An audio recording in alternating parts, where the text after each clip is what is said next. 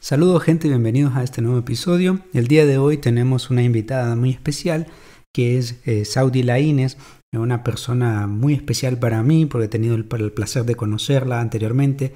Es una agrónoma que ha estado toda su vida vinculada al sector del café, trabajando en él y su experiencia vivida en una exportadora esto nos ha podido compartir y hemos tenido la oportunidad de, compartir un café y dentro de ese café una, una plática muy enriquecedora para entender toda su experiencia, cómo la ha llevado a cabo, los aprendizajes que ha tenido durante todo este proceso en el devenir de la, de la exportación y de la producción de café.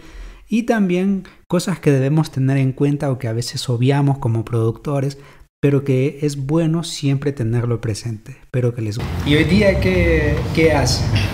Pues, bueno, tuve esa experiencia muy grande en la parte de exportación, una gran escuela y algo que aprendí del catador central de, la empresa eh, que me llamó poderosamente la atención. Y yo por eso tengo ese perfil de él. Él se llama Marlon. Me dijo algo, yo pienso igual que él, pero él me lo dijo. Siempre van a llegar personas que quieran influir en tu criterio. E incluso una cosa, nosotros queremos calidad, como catadores queremos calidad. Pero los que andan en compras quieren cantidad. Entonces ellos quieren, van a intentar persuadirte. Ojo, me dice, calidad es calidad. No puedes dejarte guiar de criterios ni nada por el estilo. Si él te dice, pero usted lo mira, que está mal, está mal, punto, me dice punto, ya puede brincar, está malo, está mal. Entonces, él eh, me llamó la ética profesional de él, me llamó tanto la atención que me sentí tanto en confianza que yo cuando miraba un café así, yo lo llamaba a tales horas, yo estaba de 3 de la mañana, 4 de la mañana, Marlon, esto y esto, mandaron fotos, no, no lo mandé, tiene razón, no, no lo mandé. Cuando yo erraba en algo, Saudi, este café lo tostas, tostalo claro, sale un tueste claro, con un tueste claro uno encuentra los daños, más práctico con un tueste medio, medio claro, y vas a ver la diferencia. Y yo lo hacía, y en efecto, se notaba. Entonces así, pues fui formando más en la escuela, vaya, tenía permanencia y todo. Yo eh, terminaba la cosecha, iba a mi meta de vacaciones, porque nos daban tiempos compensatorios por haber trabajado hasta acá todos sombreados. Sí, me imagino. Entonces ya terminaba mi mes y le llamaba yo a, la asistente de mi jefe, este, ya yo tengo que estar allá, Mira, hijita, es copaneca.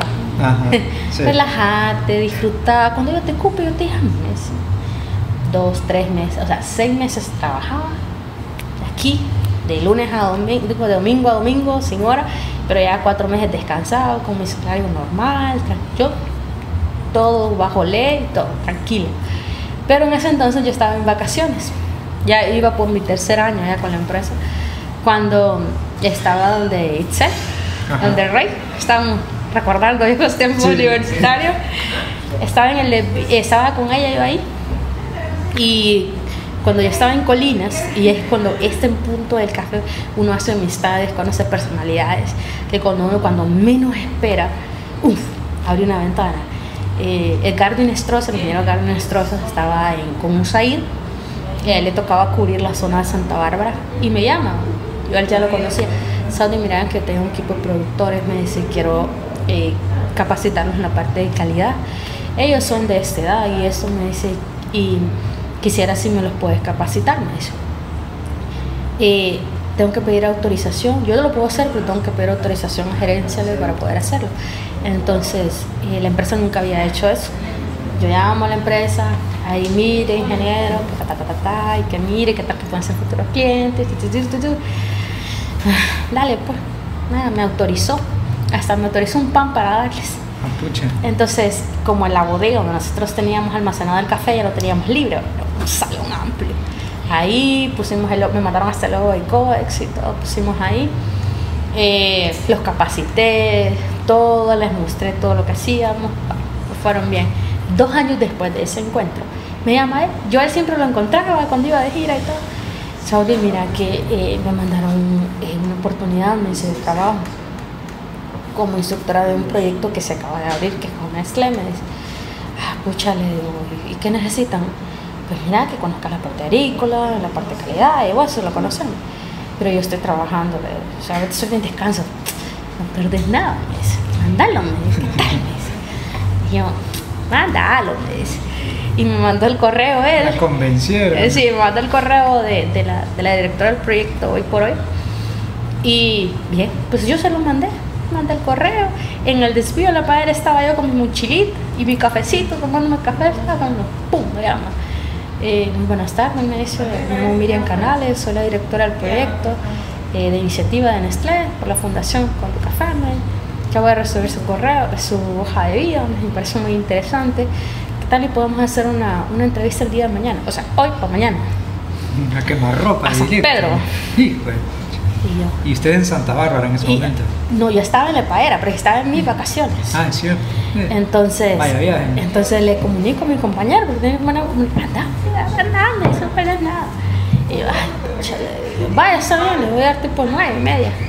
Madrugué a las 4 de la mañana. y, y- pero yo iba así como que, ah, qué bien, sí, pues no, pues también, y ahí miramos. ah, Y pues llegué, iba en un plan improvisado, Sí, muy literal. relajado. Y es más, no, no, iba ni, no llevaba ni impreso mi currículum porque no tenía ni tiempo. Ah. Agarró más ropa. Lo Sí. que le mandé y ellos lo imprimieron allá. Llego. Ah, mire, yo soy Mira, ¿qué tal? Mucho gusto. Me entrevistó el coordinador del proyecto de Alianza, de Alianza para el Café de la Fundación. Eh, yo soy Joel, yo fui el que le mandé, me hice correo Bañestrosa con mis compañeros, la, la, la. Ajá. Eh, me entrevistan, me hacen preguntas de la parte agrícola del cultivo, de la parte de calidad. Yo, yo le respondo. Ya dije yo, con esto ya no puedo ir porque tengo una hambre, no ya sabe nada. No me dice, tiene que pasar por, por la de recursos. Me entrevista la de recursos. Luego estaba eh, a nivel internacional, el director del proyecto a nivel internacional, que por cierto, él es uno referente y se le llama uno de los apóstoles del café en Colombia, Ah, el ingeniero Orlando García. Él fue uno de los pioneros de la, de la cultura cafetera de Colombia y que hoy por hoy tiene ya 30 años de experiencia en café y él es el director del proyecto de Nescafé. Estaba él ahí, ah, hola, que no sé qué, estaban primeras contrataciones del proyecto. Pues me entrevistó él, todo tranquilo. No, ya terminamos. No, acatación. Me pasan con el jefe de control de calidad, la exportadora más grande de, centro, de Honduras, y una de las más grandes del centro. Acá está, tenían las mesas llenas. No, pase por aquí, me dice. Y yo, podía más la hambre que todo. Y ni siquiera siente. Fenol, fenol, fenol, fenol. Así, un Sí. solo. Y me dice, ah, y le pregunta a ajá, le- y él le dice, solo le hizo esto. Ah, venga, venga, venga. Pulgar arriba. Sí, venga, venga, me dice, eh, va a pasar lado. con mi jefe, con el jefe, con el ingeniero Terence, que es el de la empresa. Me entrevista a él y me dice, ajá, me están com- comentando que pedí esto. Yo pedía el doble de lo que ganaba. ¿Y por qué lo pedís? Por esto y esto y esto, por mi experiencia, esto y esto, la. ¿Tenés todo el papel en orden? Sí. Dale, dale, está. Y me dice, eh, la pidió mi jefa, eh, pero segura, segura que si yo le, le doy lo que usted me pide, me dice, usted se va a caer. Eso depende de usted. Pero es que, Siempre- pucha, usted sí gana. brava. Y me dice, es que usted, me dice, la, todavía un recuerdo, me dijo la de recursos, pucha, ganaba bien en su trabajo que todavía lo tengo, por cierto, hoy estoy, eso depende de usted, le digo. Entonces eh, me dice, pero si quiere le puedo enseñar los vouchers, no hay problema. Para eso entonces yo ganaba como 20, 21 más o menos, de ganar nada. Ajá. Se ayuda Sí, evolucionando. entonces me dice, no, no hay ningún problema. Bueno, no, me dice, le voy a dar esto. No, esto. Mire, le digo yo, eh, mi conocimiento para poder llegar a esto me he invertido. No se imagina todo lo que he invertido y qué sacrificado para regalar mi trabajo. Y el tiempo que estuve en la exportadora, haciéndose cargo sola de todo, De- llevar las planillas, el laboratorio. Entonces, para mí esto es como fácil, ahorita sencillo. Mm, Bueno, dice, en los primeros dos meses le voy a dar esto y si usted pasa los dos, eh, los dos meses de prueba, le vamos a dar lo que me pide. Ah, vaya, está bien, le digo. Pues me, como no tenía en ese momento, me hizo una, una hoja en blanco que le firmara que yo iba a venir tal fecha, tal fecha. Ah, le digo, yo estaba trabajando, entonces hablé con mi jefe, le expliqué, ¿no? quedamos en buenos términos con la empresa anterior y ya yo llegué a esa fecha. Eh, y me agarran en plena cosecha. Me dice, ah, no, como ella cata, a laboratorio. No, me dice, usted va a estar en el laboratorio para que calibre. Y ya entendía el significado de calibración, yo, Ya entendía yo el significado. Ay, señor, dije yo, ¿dónde me vine a meter? Pero, y, de hecho, eh, varias personas eh, como que me habían advertido, mira, que no, que no sé qué, que no te metas, que, ah, pero no, como a ella le gustan los, deportes agresivos. Ajá, los, de alto riesgo, sí, extremo. Yo me metí, yo, bueno, me metí, llegué, empecé todo. Eh, siempre mm, van a ver así como estos roces en cuanto a criterios, siempre, es parte de, del oficio.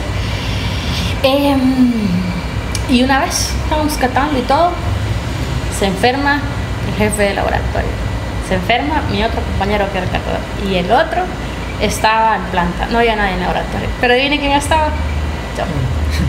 Y me dice. ¿Un déjà vu usted? Sí, bueno, me dice, usted queda a cargo del laboratorio. Oiga, el laboratorio más grande de Honduras, nunca fue, más grande del exportador.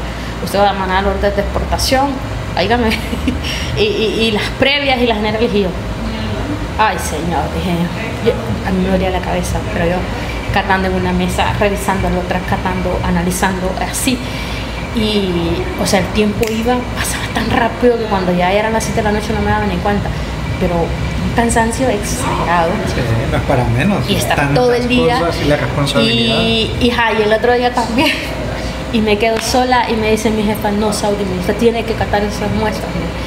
Llegaban 300 rastras. Iban a muestrearlas, las revisaban. Mire, no le miento, me ponían dos mesas de 60, 60 muestras, una 60, la cataba, cataba, cataba, cataba, cataba otro grupo levantaba mesas, me ponía otra y así. O sea, a un punto en que me dolían tanto los pies, le dije a si va al centro, cómprame unas sandalias, no aguanto los pies. Y apenas eran a una. No, me dice, y me miró tan mal y me la fue, ahí andaba unas ahí, no, me agarra las Pues así pude terminar, pude terminar. Fue una experiencia impresionante, bastante arriesgada y luego me di cuenta, yo soy bien versátil, me adapto y me, eh, tomo riesgos y sé el significado de los riesgos. Pero fue muy buena la escuela, fue en plena cosecha, una cosecha alta para la empresa. Eh, gracias a Dios eh, no cometí errores. mi jefe, mi jefe es CQI también, él es CQI y llega. Estábamos en un debate ellos estaban en un debate en una mesa. Estaba tranquilita con mi café, analizando el café. relajando ahí. Éramos seis catadores en el laboratorio. Le estaban analizando el café. Y llega uno y pasa por la ronda donde él estaba. Llega otro y pasa. Llega otro y pasa. Y todos habían pasado y yo aquí está pasando algo. Pero bueno, yo no estoy ahí, es lo que importa. Ya me llama, mira. ¿Sabes? Venga, mira, ingeniero, que hacen acá. Eso soy yo. Y todos viéndome a mí así, puertas cerradas. Pa, pa. Y me quedo callada hasta aquel día, porque cuando hay un buen líder, pues hasta que lo dice. Y me dice, ¿qué le sentiste? Mira, taza limpia aquí, un pequeño fenol que tiene un pequeño moho, taza está un poquito astringente, un leve fermento. ¿Estás segura? Sí, le ¿Estás segura? Sí. Pero antes de preguntarme a mí, le pregunto a mis compañeros, ¿qué les sintió? Taza limpia, taza limpia, una media aspereza, y solo yo fui la última que le dije eso. Y me quedo en mi mente, no, ando por la 20, entonces. ya 5 contra 1, empezando por ya, la 20. Ya está, entró en duda ya. Sí, ya, pero ya había dicho. Y me dice tienes razón, eso hay. Eso fue. Entonces, eh, pues creo que la, la parte de estarse calibrando, la calibración que yo había tenido constante en esa cosecha ah. y que aún sigo todavía, eh, me ayudó bastante, bastante y pues ya haber manejado ya laboratorios de dos exportadoras grandes ya me ha ayudado mucho y todavía sigo aprendiendo. Sí, sí, no, es que la experiencia que tuvo antes de la exportadora, lidiar con todo eso, pues ya, le, fue una base y de ahí viene el corazón, ¿verdad? Poder hacerse responsable y asumir el riesgo. Asumir los retos porque uno es, todo ser humano, eh, cuando uno se equivoca es de valientes asumirlo. Y de cobardes que no. Pues si uno se equivoca, asumir que uno está equivocado, es parte de. Si yo me equivoco, pues me equivocaba, soy humana. No todo el tiempo uno anda en buen ánimo, el cansancio influye también, muchas cosas, pero eh, hemos tratado de sacar realmente la tarea con mucha ética y mucho profesionalismo y pues a tal punto que ya me querían dejar con la exportadora. Ya no, que, ya no iban para el proyecto, sino para la exportadoría. ya es como ya mucho de esto. Eh, tampoco. Entonces me dice, no, me dice mi familia que el ingeniero quiere que se quede con la exportadora y que no sé qué. Y yo, pues, para mí está bien, le digo yo, pero haremos términos monetarios. Sentémonos a negociar. negociar, por favor, y aquí es otro tema. Ajá. Entonces, em, pero ellos no tenían todavía por el proyecto. Entonces a mí ya me habían calculado. Ya. Entonces no, me mandan a mí eh, para el proyecto. De hecho, después hay otra chava, ya eh, empezamos a, a for- formar estos eh, manuales para el proyecto, en todo el cultivo, tostaduría y todo eso. Eh, estuvimos como por unos 15 días en Nestlé, Nestlé San Pedro, capacitando. Esto, bueno, quien les digo que Orlando es un referente en la caficultura en Colombia, que él es colombiano, pero vive en Estados Unidos. Estuvimos ahí y bueno, inició el proyecto, me mandan nuevamente para Comayagua. Es un centro de calidad de café muy bonito, teníamos laboratorio completo con máquinas de primera mano, nuevas, eh, secadoras y todo. Estuvimos, ya aquí venía la parte educativa, yo nunca pensé que iba a eh, formar personas. Y dije yo, pues a mí me pusieron magisterio tanto que lo odiaba y aquí estoy. Ajá, al final todo se va conectando. Ya me ponía a hablar y todo, me ponía a explicarles y todo. Entonces, entonces sacamos un grupo de presencial antes de la pandemia, Ajá. como de 40 personas y vino la pandemia y vino a cambiar todo. La educación también. Sí. Entonces nosotros nos eh, revertimos de forma virtual, ya cursos eran virtuales, nosotros continuamos, seguimos innovando. Todavía siguen los cursos hoy por hoy virtuales, pero ya pronto volvemos a la parte de campo, ya en la parte educativa, ya, ya en los centros de calidad. Y eh, pues nos dio muy bien resultado los cursos virtuales. Hemos tenido alumnos de Latinoamérica, parte del Caribe, Europa, Norteamérica. Y la parte de desenvolverse personalmente es una cosa, pero estar monitores es otra cosa. Sí, y sobre todo que eh, bombardeo de preguntas de distintas culturas. O sea, el café une culturas, educa, Sí. pero eh, en distintas zonas es muy manejado, incluso los conceptos son muy distintos. Y, y entonces yo a veces me quedaba así como que, "Ey, ¿A qué se refiere? ¿A qué se refiere? Yo, pero, ¿me puede explicar? Ay, ay, ay, ya entendía dónde era. Y ya me preguntaban. Y cuando el curso ya es virtual, nosotros estábamos en el foco de Nestlé, en el foco de la fundación, para ver qué resultado. Gracias a Dios, eh, fuimos, fuimos muy bien abrazados. Pudimos responder hasta hoy por hoy eh, las preguntas que salían. Después de dar clases, dábamos asistencia técnica por medio de WhatsApp, los teléfonos no, el teléfono corporativo no paraba de sonar. eh, por Facebook, ya no es Y yo en Facebook siempre comparto memes, pero ya a veces no me acordaba que tenía el mundo y comparto, ya imagínate. Sí, Bueno, hasta hoy por hoy. Y, eh, ha sido una gran experiencia. Algo que siempre eh, me han dicho es que yo soy muy apasionada.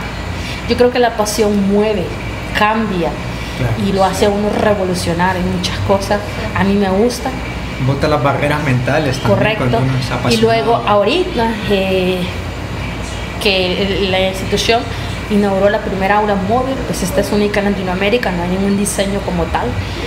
Y eh, orientamos, abrimos fronteras y ahora visitar eh, los lugares, los municipios, aldeas, caseríos, hablar con productores de tierra adentro, que ellos les pregunten, no, mire mi cultivo, explicarle. Uno queda bien chiquito a la par de ellos Sí. porque uh, es tanto el trabajo que hace el productor que no se valora como tal. Y hoy, eh, que hace dos años me han entrado al mundo de la producción, si bien es cierto, yo ya venía, pero una cosa es decir yo soy, pero otra cosa es decir yo lo produzco, yo sé qué etapa pasa aquí, cuál es el problema. Conocer O sea, cada detalle. cada del- detalle. del. Yo llevo la bitácora, yo sé cuánto tengo que tener para la primera limpia, para la primera fertilización, para el manejo de poda. Eso no lo sabía. Hace hasta los 12 años que ya yo dije, ya pues todo el trabajo brindó Tengo su fruto, tengo mi pequeña eh, manzanita. Entonces, ya yo decía, San Antonio de la Cuesta, ¿cuánto se gasta aquí? Ahí es cuando ya de verdad se pone la... Sí, y yo, tengo que tener esto para mayo. O sea, sí o sí tengo que tener este 40 mil empiras para mayo. Ahí es cuando el cafetal deja de ser cafetal y se vuelve empresa. Correcto, es que es una empresa, pero nosotros solo lo miramos como un ingreso, pero también hay ingresos como ingresos. Pero la eh, según el monitoreo que yo he realizado, la mayoría de productores no saben cuánto gastan al año. Entonces yo le digo, si usted no sabe cuánto gasta al año, entonces ¿cómo va a saber si usted vende el café bien y si va a sacar lo que ha gastado y va a tener rendimientos? O sea, no con el hecho de decir, ah, yo lo vendí a buen precio, pero ¿cuánto gasta usted al año? O sea, si usted ganó 200 mil empiras en toda la cosecha de los tres cortes, pero gastó dos, 250 eh, mil, por ejemplo, usted no ha ganado, usted ha perdido, aunque lo vendió a buen precio. Sí. Pero si usted gastó, ganó, vendió a 200, pero gastó, ah, 100 mil libres, no lo sabe. Y se me quedan, pues no, no, no me he puesto. No, lleve una libreta, le digo, anote tanto, para que usted, esta es parte eh, de conocimiento y la parte de comercialización, porque si tal día, porque el precio de bolsa en un segundito sube y en un segundito baja. Cierto. Y por eso uno fija contratos en el sistema, para, porque si sube, pues subió, ¿no? Pero si bajó y usted ya tiene un precio, pues ganó. Sí. Aquí es un juego de esa. Ganamos o perdemos. Pura negociación. Pura negociación. Pero eh, si usted no sabe, entonces ¿en qué punto va a vender? Debe saber cuánto gasta en su finca. O sea, ¿en qué estoy en esto? Ya sé lo que gasto. Ahí, y ya sé, tanta fecha tengo que tener, tanto dinero, tanto fecha, tanto dinero, porque si no la tengo, me yo, porque toda persona que trabaja es porque terminar el trabajo necesita su dinero. Lo mismo es en campo. Y en campo mucho más aún, porque nosotros que somos asalariados tenemos algo fijo pero el jornalero, o sea, gana... Que vive de la temporada. Vive del día, del, al día a día. Y con el precio que está hoy por hoy la canasta básica, yo no sé cómo pueden sobrevivir, pero es, eh, hoy por hoy, con el sistema en que estamos, aquella persona que tenga una tareita, pero que le guste el campo cultive sus hortalizas, no hombre, ya la hizo. Con su cañonita ya la sobrevivió, porque hoy qué cuesta una libra de tomate, 20 lempiras y usted la cultiva. ¿Cuánto va a costar en una que compre una 3 onzas de semilla? Con 25, 30 lempiras. Sí. Ya con eso puede sacar. Sí. Lo que pasa es que a veces romantizamos o minimizamos la labor agrícola. Como productor, es decir, no, solo es voy a sembrar y sacar y, si, si tengo algún excedente lo vendo pero llevar ese monitoreo de cuánto gasto, en qué lo gasto, cada cuánto debo gastarlo, o sea, ver la finca otra cosa, o sea, como es totalmente, y hay algo muy importante que usted dijo, la parte de romantizar. Mucha gente piensa, ay, que el caficultor tiene dinero. A mí me lo han dicho. Ay, es que usted tiene dinero, yo. Deuda sí. es lo que más tiene. Sí. ¿Por qué? Porque piensan que sacar café es tan fácil. no, no es así. O sea, uno está manejando una empresa indirecta que debería ser directa. Porque está manejando personal. Que uno tiene que estar al celo, como dice un refrán. Solo aquel que está en su parcela sabe en qué momento va a perder su cultivo. Cierto. Entonces, uno que está al celo, yo que estoy al celo, sé en qué momento lo puedo perder.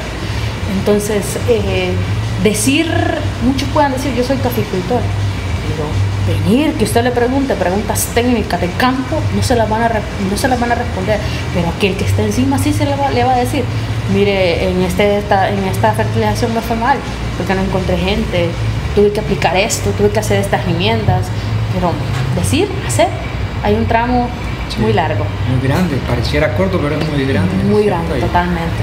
Y son las cosas que tenemos que estimular también al, al productor, decir, no, mire, fórmese primero, entienda cómo funciona su finca, qué tiene que hacer y después aplíquelo. Claro, esa etapa es bien difícil por la aceptación que, que tiene el productor hacia uno, ¿verdad? Cuando está formándolo, o querer formarse y aplicarlo. Pero como decía, entre el saber y el hacer hay una gran, hay una gran diferencia. Y es ahí donde también entra algo.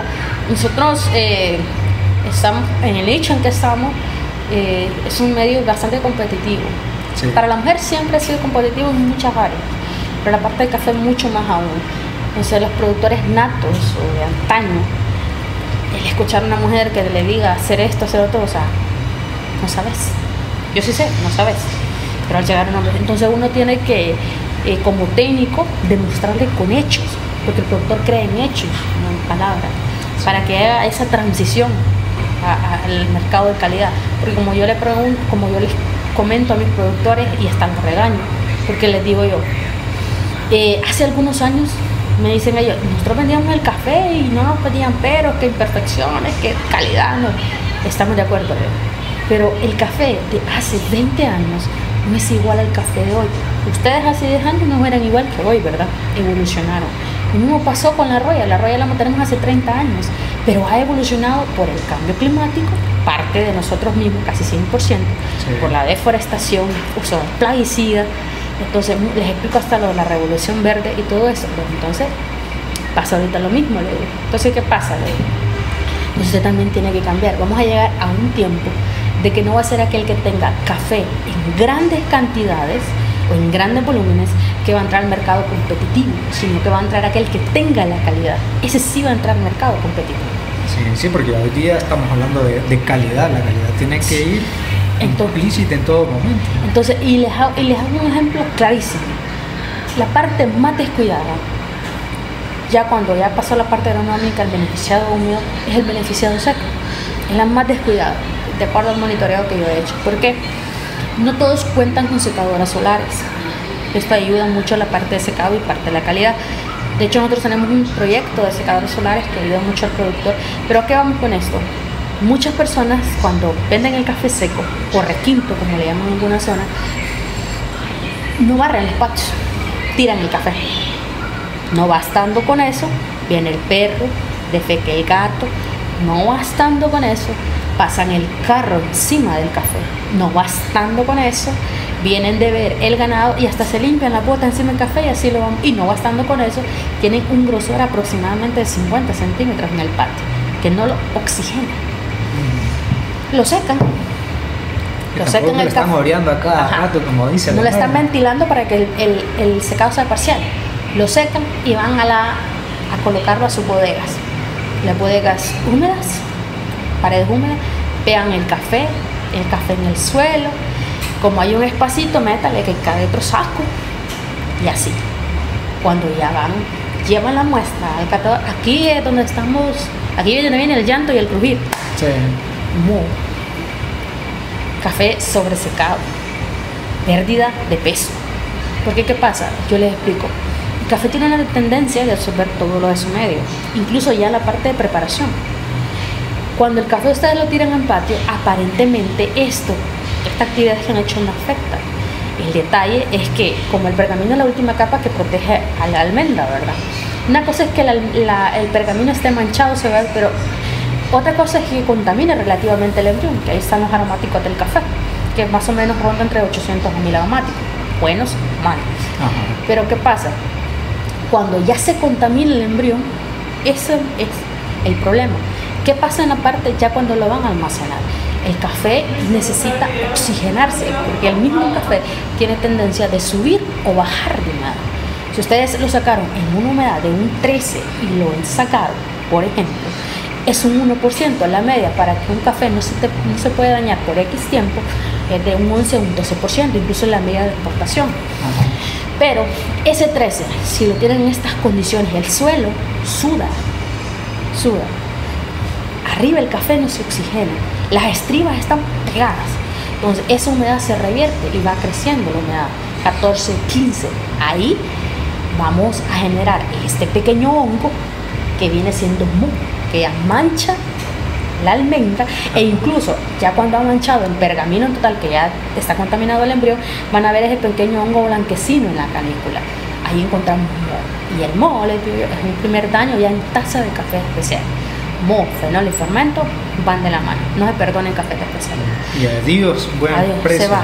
Y aunque ustedes tengan un grano muy bonito, pero ¿qué pasa? Estas cosas ustedes las podían manejar. El café en patio, le digo, ustedes lo secan en patio, bárranlo y quede limpio. Lo van a mover, el grosor mínimo debe ser de 5 centímetros. Para que ustedes puedan moverlo constantemente y pueda ser parejo el secado. Dejen un saco ahí, quítense las botas o sacúdense por afuera o limpiense para que puedan moverlo. Son pequeños detalles que aparecen, no, eso no, pero sí digo, porque el moho indiscutiblemente es una parte secada. Sí. Que cosas así les explico y ah, pues que ellos caen como en razón y dicen, ah, bien, vamos a ver. Sí, es que eh, a veces el, productor llega, lleva su café y cuando lo prueban y le dicen, se le va a deducir por esto, ahí es cuando empieza a llorar, empieza a que no, que no puede ser. Y más bien son errores que él pudo haberse evitado, ¿no? porque muchas cosas son errores evitables, fácilmente evitables. Y eso es lo que ellos no creen, porque dicen, ah, no, es que el catador está inventando. Ustedes inventan, es algo que siempre escucho yo. Y cuando pasa esto, le dejo la mesa ahí estática. Venga, pruebe, pruebe esta taza.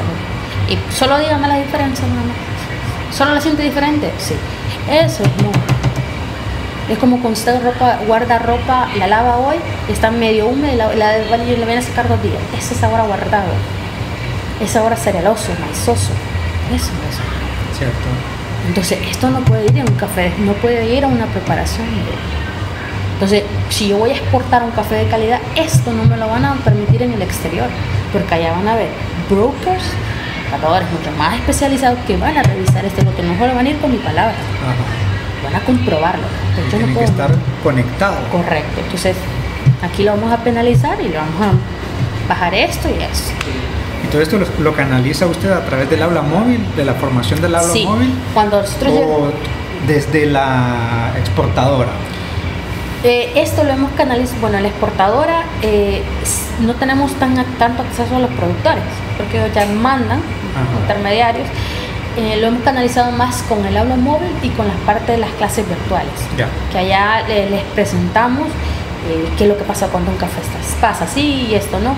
Y ahora que andamos con el aula virtual, con el aula móvil, perdón, que ya andamos por todo el territorio nacional, les llevo café así dañados, fenoles, y les explico, miren, esto es lo que es. Y yo creo que se lo han tomado, están han tomado un stinker, un stinker es una combinación de daño, fenol, fermento, agrio, rancio. Todo lo hecho, en una sola taza. Y, de hecho, les, hice una prueba, fíjate qué particular. Les puse un stinker, les puse un fenol, les puse un café torrefacto. Que el café torrefacto, pues llevar el tueste a su último nivel de tostón, agregarle azúcar, que esto lo cristalí, es carbón, básicamente. Y le digo a mi compañero que me diga, sáqueme un café de especialidad. Él ya sabe que especialidad es el torrefacto. Entonces, él, de que lo mira, ya, no me vaya a dar a mí, me dice. Entonces, me lo pone así y le dice, pase. Es que hasta en el color se observa distinto. Entonces, yo lo acá. Y mire qué ha pasado, que les ha gustado más esos cafés finales que un café limpio. No le creo. Sí, en serio. Y yo me quedo así, ¿en serio? Y les digo yo, esto es fenol este es un café limpio, prueben. Ay, no, pero es que lo siento como raro, ya la costumbre. La cultura, la cultura, correcto. Tomar malos cafés. Es correcto. Entonces yo. Ay, miren, si esto ustedes, si este fuese su café, le estamos lo llevan a un laboratorio acá los castigos. Pues, ¿cómo los castigos? Nosotros evaluamos un formato que se llama Scale, el formato universal de café especial de América, que tiene 10 criterios aroma, fragancia, etc. Yo les explico de manera mucho más fácil, no técnica, porque no me van a entender. Entonces, si esta taza es leve el daño, yo les quito dos puntos, si es leve, de las cinco que tengo. Pero si es bastante punzante, yo le quito cuatro puntos. O sea que si usted tenía un puntaje de 80, menos 4 tiene 76. Está en la línea de cafés buenos, no un café de especialidad porque un café de especialidad se considera que el café que esté arriba de los 80 puntos. Lo que va a variar, obviamente, van a ser los atributos que tengo, porque no es lo mismo decir, ah, un café caramelado, chocolatado, que decir, ah, tiene una acidez cítrica maracuyá, a jazmín. No, no, no, estamos hablando de estándar stop. Sí, 90 y pico para arriba. Eh, ahí pues, cambia, pero se considera café de especialidad. Ahora bien, se tiene un puntaje de 85, pero yo le quito 4, 81. Para que me entiendan más o menos. Ah, no, pues está jodido. Me dice, pues sí, le digo yo. Pero ¿quién lo procesa? No, ah. no usted, les digo. ¿Quién va? Ahora, sencillito, les digo yo. Hasta, hasta lo hago que me lo digan en coro todos. ¿Quién trabaja más? Al productor, ¿no? Ajá. ¿Quién es el que está encima del cultivo? El productor, ¿no? Ajá. ¿Quién es el que hizo mala parte de secado? El productor. ¿Y a quién se la va a castigar? Al productor. Y entonces, ¿quién se daña? No, pues sí, nosotros, me dicen. Es un, algo tan sencillito, es la parte de secado, que es súper delicado. Piense que con el hecho de lavarlo ya lo hicieron todo. No, sigue la cadena, esto sigue. Sí, porque, bueno, primero está en la cosecha, saber diferenciar el, cereza madura, bien madura, evitar el verde, el perico, y luego el, despulpado, tener el cuidado Mire, Esa es otra de las cosas que me han preguntado muchísimo en la parte beneficiada. O sea, todas las etapas del cultivo son cruciales, ninguna es más importante que otra. Pero eh, a veces se descuidan una, tal vez la parte agrícola no, pero sí la parte de beneficiado sí y así. Por ejemplo, la parte de beneficiado es la parte que más he observado es en la parte del desculpado. Para empezar, em, es algo notorio que tenemos problemas con la mano de obra, la migración ha afectado eh, los cortadores. En el caso nuestro hemos tenido que jalar de El Salvador, de Guatemala y cuando los precios están altos, algo que es particular no es el productor que pone el precio, si son galoneados o son eh, en algunas zonas lo hacen por saco, por ejemplo, por quintal, eso depende del sector es el cortador que pone el precio. Te corta el precio. O sea, son ellos, no es uno como productor. Y aquí, pues, la necesidad pues se obliga, porque el café se seca y pues aquí no, no, tenemos rendimiento, básicamente. Entonces se le enfatiza que recolecte la cereza madura, no la verde o la camuliana, porque esto en la parte de tostaduría también tenemos los granos Quaker, granos maduros, eh, que no permitan que la cereza se, eh, se encuentre como un grano color toro ya reventada, porque aquí ya tenemos fermentaciones desde la planta, porque una cosa es de la planta y otra cosa es en la pila, y así. Pero ellos me explican los factores de tiempo, el clima, y pues hay muchas cosas que están fuera de nuestras manos en efecto. Y, pero hay otras cosas que sí pueden manejarla, les digo que es la parte del despulpado. Eh, mucha gente, en las aguas mieles y la pulpa son una de las cosas que más contaminan. Hay personas que para, como recolectan verde, y camulean para madurar, para ablandar la cereza, lo que hacen es que utilizan agua. Y les digo yo que están contaminando el medio ambiente. Ustedes no necesitan agua, porque el mismo mucílago sirve de fricción. Y ustedes solo fuera cereza madura. Y la otra cosa es que no lavan las despulpadoras, no las calibran antes de la cosecha. Al no calibrarlas, los paños tienen un tiempo de vida como todo, no están reguladas. Entonces, si el grano está sano, no está brocado, tiene peso. Entonces, lo que hace es la despulpadora es que lo corta. no como tiene peso, no pasa como vano. Y yo les digo, o sea, 5 gramos cortados les hacen una imperfección. ¿Y pero quién hizo la práctica? Ya no me diga, ya sé quién.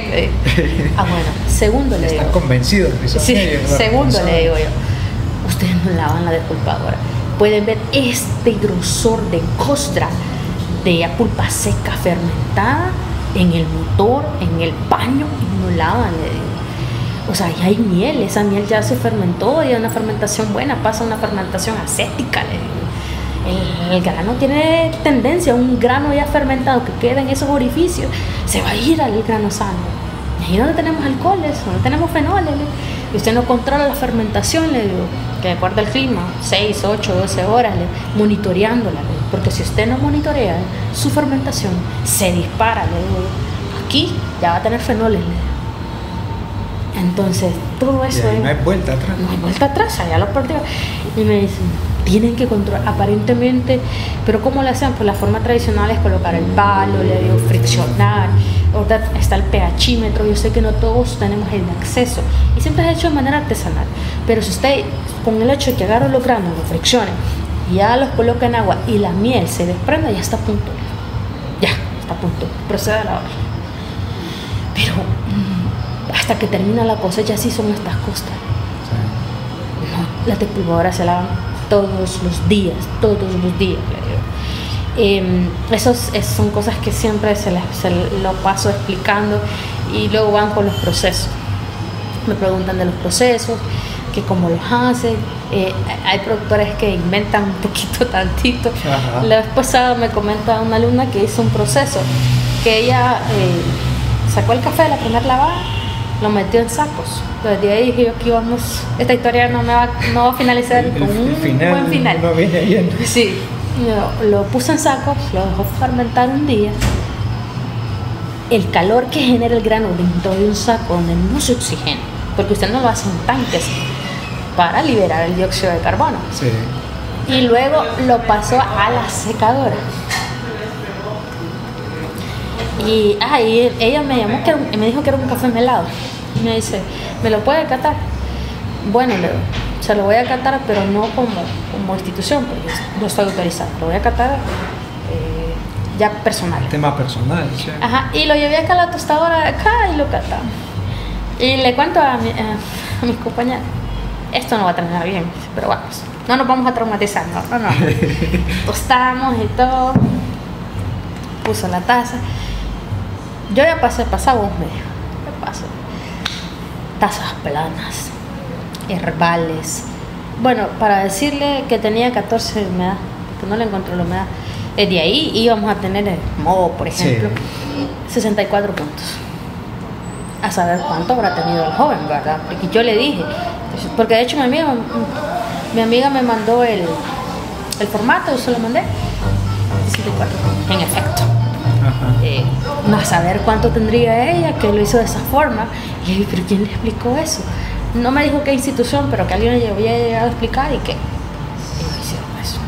Y les digo yo, a los productores, miren, los procesos nacen para mejorar el perfil de la taza. Pero ojo, si usted no tiene conocimiento para hacer un proceso, no se meta o por lo menos busque asesoría, porque puede perder ese lote, lo puede perder. Es que es, la línea es muy Y chica empezar probando primero. paulatinamente y se van y se van según ellos al más fácil al natural y yo les digo el natural es el más complejo de todos es Ajá. el más difícil les digo yo es el más difícil no solo es recolectar la cereza madura tienen que controlar la humedad debe tener un presecado anterior o estarlo monitoreando por 29 30 días estar mirando el pH de la acidez porque la acidez está dentro dentro de la pulpa no está fuera como en un helado y ustedes pueden ver cuando la miel ya se va secando. Como natural no Ustedes deben de calcular el secado porque no lo pueden ingresar la, la, la cereza a un, a un tester, no pueden. Tienen que trillar una muestra para evaluarla. Tienen que estar. No es el más fácil, es el más complejo. Ahora, si ustedes lo saben controlar, pueden tener un mejor perfil. Y se vende, porque incluso tasa de excelencia ha quedado con, con procesos. ¿no? Ajá. pero tienen que buscar asesoría. Entonces, hay personas que se adentran en esto porque piensan que es sencillo, pero no necesariamente es así. ¿Y qué tal el productor? ¿Cómo se comporta cuando le has capacitado? ¿Se ha visto Eh. algún cambio evolutivo que dice, no es cierto, tenemos razón, vamos a cambiar Bu- algo? eh, eh, dice, yo eh, he llegado a pensar de que ellos como que se enojan cuando yo los regaño, pero luego ellos eh, se ponen a, se ponen a meditar y me dicen uno de ellos, dígamelo como productor, no como técnico, en caso de la broca. Y ahí le, doy- le doy la respuesta a la vez me dice, yo puedo controlar la broca con insecticidas. ¿Cuál quiere la respuesta? Le digo. ¿Como productora como técnica? No como productora. Con insecticidas no la va a controlar. Es mentira. Va a perder su dinero. Y ahorita un insecticida X, oye, le andan en 2000 empiras, promedio. ¿Y cuánto va a sacar por litro? Le digo. Póngale que 12 bomba, más la mano de obra. Y usted tiene, ¿qué? ¿Cuántos litros le van a ir por manzana? Solo un ejemplo. Ahora, ¿por qué? Le digo? Primero, usted debe de monitorear su finca. Y le pongo un ejemplo sencillito. Cuando usted se casó, le digo, ¿qué observó en su esposa? O la cara, las manos, ya que tal que le hizo un escáner de a cabeza. Es un escáner lo que se tiene que hacer en su planta de café, le como que fuese su esposa. Porque toda planta le da una sintomatología de si es hongo, si no es hongo, si es insecto, si es plaga, si es toda le da una sintomatología. El detalle es que nosotros empezamos a controlarla cuando ya está tiene una incidencia de 40 a 50, donde no podemos recuperar la finca. Pero ya le digo, sintomatología. Si usted ahorita va a su finca y hace el escáner y revisa la cereza, si ya tiene una, una perforación, tome 10 plantas al azar, le digo, vaya al estrato medio y le explico allá.